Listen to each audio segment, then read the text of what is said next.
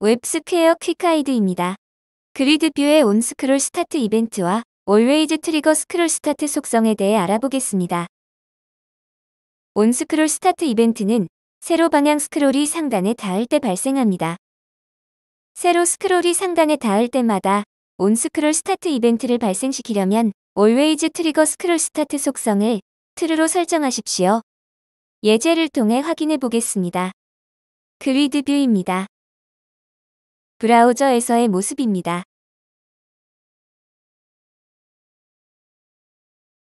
GridView에는 onscrollstart 이벤트가 걸려 있습니다. 이 예제는 세로 방향의 스크롤이 GridView 상단에 닿을 때마다 지정한 메시지를 alert으로 표시하는 코드입니다. 브라우저에서 세로 방향의 스크롤을 상단으로 이동해 보겠습니다. 지정한 메시지가 alert으로 나타납니다. 하지만 이 이벤트는 최초 한 번만 발생합니다. 스튜디오로 돌아와서 Always Trigger Scroll Start 속성 값을 true로 변경하고 저장합니다. 화면을 다시 로딩합니다.